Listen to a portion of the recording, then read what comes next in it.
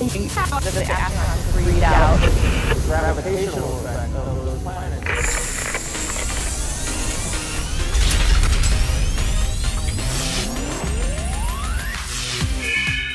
Hey, I'm Kristen, and this is NASA Now. It's green, it's clean, and it's packed full of energy. I'm talking about algae, and it's the future in aviation fuel. That's ahead.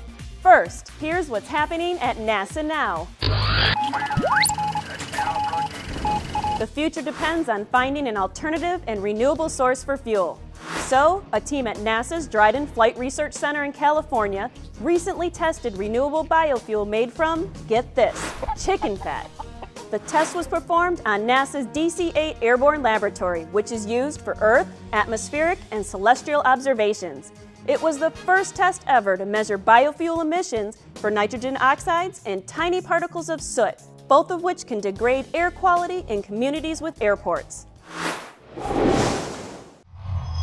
Over millions of years, biological materials from plants and animals get pressed into layers upon layers and form what we call crude oil. The difficulty is we're running out of oil or fossil fuel fairly quickly. Now we have to find an alternative source. A senior research scientist at NASA Glenn Research Center believes he has found the answer.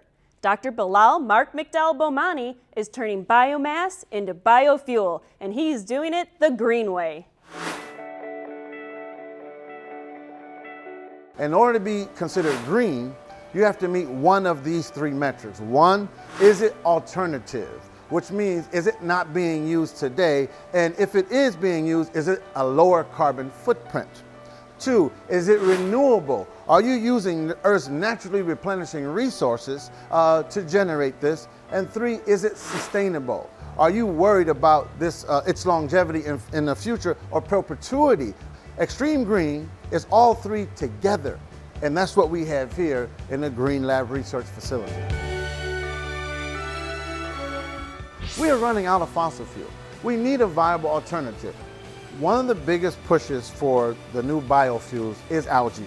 We can grow algae, it sounds good, so on and so forth, but actually extracting fuel from algae is quite expensive. So in the Green Lab, we use something called climatic adaptation in order to generate the next generation of biofuels. Now let me explain to you what climatic adaptation is. And that is, can we take a plant and start at fresh water and slowly add salt until we get to natural seawater salinity.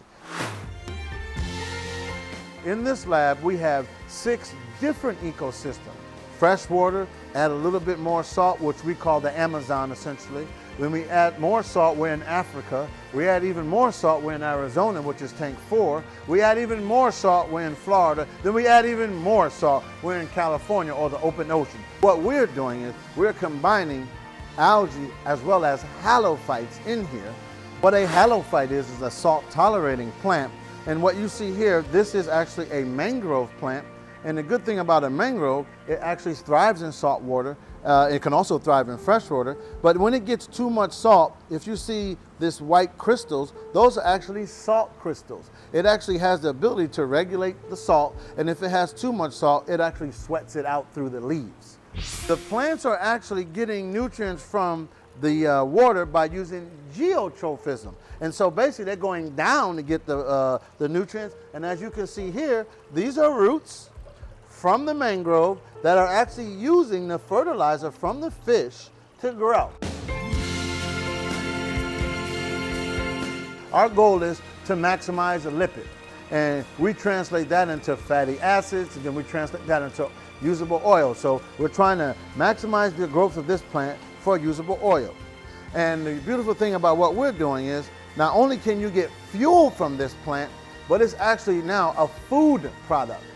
So the problem around the world are food, water, and fuel. And we actually are in the preliminary stages for an optimal solution for all three of them.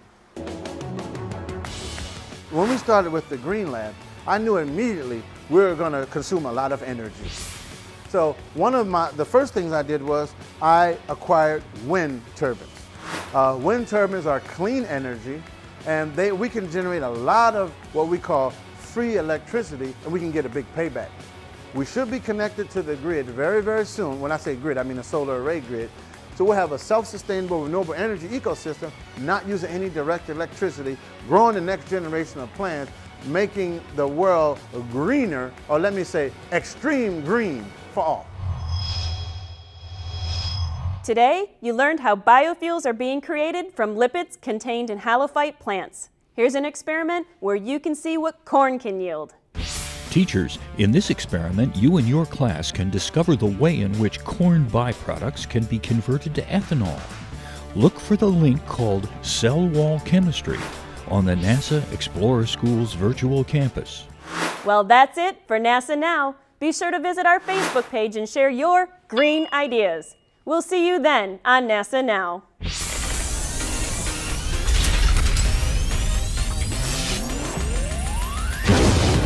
NASA Now comes to you from the virtual campus at NASA Explorer Schools.